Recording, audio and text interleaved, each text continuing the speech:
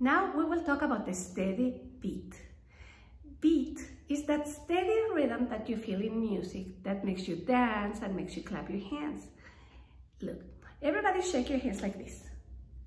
See, that's just fast and unsteady. Now shake them like this. When you do the steady rhythm, that's what we call the beat. Beat, beat, beat, beat, beat. Clap your hands as fast as you can. That's not the beat. This is the beat. Tap your knees as fast as you can. Oh, you cannot see my. Now tap them like this. That's the steady beat, beat, beat, beat, beat. Tap your head as fast as you can. Go like this. Ow! That's not the beat. Now go like this. Ouch, ouch, ouch, ouch, ouch, ouch, ouch. So the steady beat has to be steady. When you listen to music, try to feel that steady beat and make sure you don't go too fast or too slow, just with the beat. So I'm going to play one music and we will keep the steady beat. Copy me at home, okay? Just do what I do. Everybody copy me. Tap your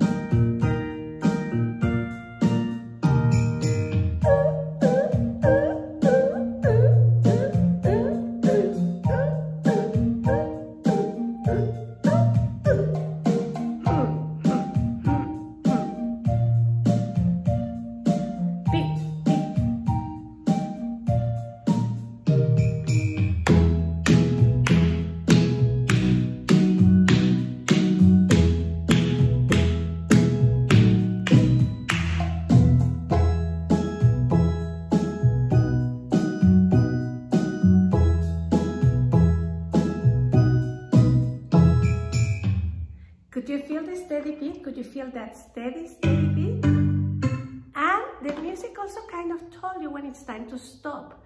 Did you hear how the music kind of said when to stop and I change movement? If you hear the music, the music really tells you when it's time to stop and change.